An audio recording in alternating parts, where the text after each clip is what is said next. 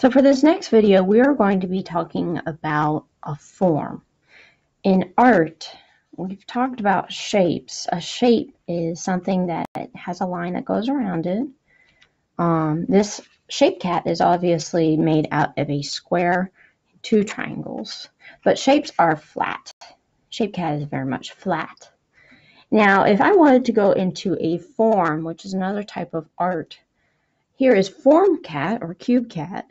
Cube cat has a square for a face and two triangle ears, but has a body that goes back. So this is a form. It has a 3D-ness to it. It has a bulkiness to it. All right, very different shape and a form. And we're going to draw a form. We're going to get summary here. We're going to draw a cup, which is a cylinder. It has a round top and a round bottom and two flat sides. So let's draw a summery drink to celebrate the fact that we are going out into summer. So start with a squished oval on top. From there, draw two lines coming down. One, two. And at the bottom, I want you to take an oval. I want you to touch either side. So oval, oval, bottom of the cup. You can also just draw two ovals and draw two lines touching either side of them. So now, look, we have a cup. All right, now cups don't float in outer space. They don't float around our house. So we got to draw a line behind our cup to say that this cup is on a flat table. Now, uh, it's a hot summer day. It is so hot outside.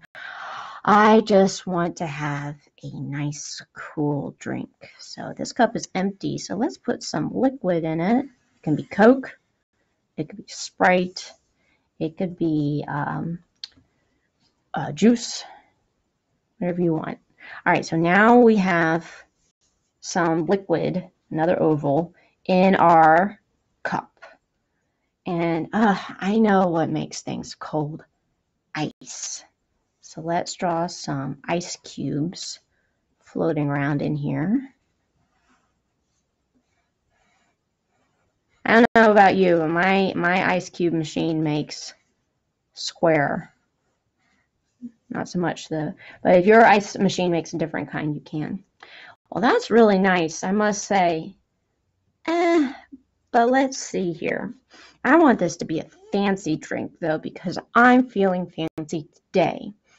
So I think at the bottom of my drink, I'm going to put a cherry or a strawberry. And I'm going to use my eraser to erase any lines I don't need.